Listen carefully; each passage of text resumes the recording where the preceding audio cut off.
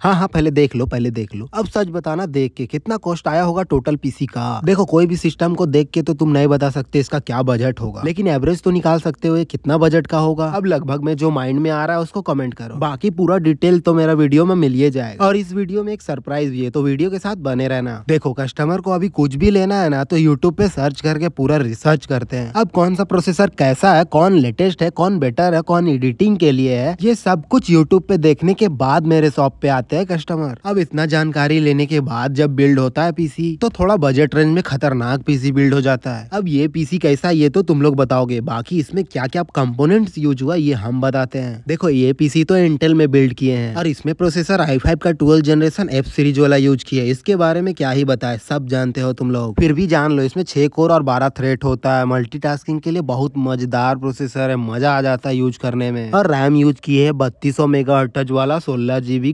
Corsair देखो, ये RAM का परफॉर्मेंस बहुत अच्छा है, लेके यूज़ करके तो देख लो। और एस एच डी यूज़ कर रहे एक्सपीजी कंपनी का पाँच सौ बारह जीबी एनवीएमई अब ये एस एच डी इसलिए यूज़ कर रहे क्योंकि इसका परफॉर्मेंस बहुत अच्छा है। और ये सब कंपोनेंट के लिए मदरबोर्ड यूज़ किए सौ दस। ये मदरबोर्ड बजट में अच्छा है। काहे की इस मदरबोर्ड में जो भी ज़रूरत का चीज़ सब मिल जाता है एनवीएमई दुद्दू को रैम स्लॉट है ग्राफिक्स कार्ड का जगह। बस बस, इस बजट में तो इतना ही चाहिए। बजट में ग्राफिक्स कार्ड लेना है तो सिक्सटीन फिफ्टी ले लो, वो भी चार जीबी वाला। है। मल्टी टास्किंग और बहुत सारा गेम भी रन कर सकते हो इसमें। तो हम भी यही यूज़ कर रहे हैं क्योंकि इसका परफॉर्मेंस कस्टमर बताया बहुत अच्छा है। अरे मतलब असेंबल करने में यूज़ कर रहे हैं। कैबिनेट तो वही यूज़ करते हैं जो कस्टमर को पसंद आए। तो कस्टमर को ये व्हाइट थीम पे सब कुछ पसंद आया है। अब टाइम नहीं गवाते। असेंबल करना स्टार्ट करते हैं। तो सबसे पहले मदरबोर्ड को ओपन करके आलतू फालतू चीज़ को अलग करते हैं और मेन मदरबोर्ड को बीच में रखते हैं। अब इसमें लगाएँगे इंटेल वाला प्रोसेसर हमको तो इंटेल का प्रोसेसर यूज़र फ्रेंडली लगता है। इसलिए आँख बंद करके भी इसको अच्छा से लगा सकते हैं। सिंगल रैम हम सेकेंड स्लॉट में ही क्यों लगाते हैं? कमेंट में ज़रूर बताना, जानते हो तो।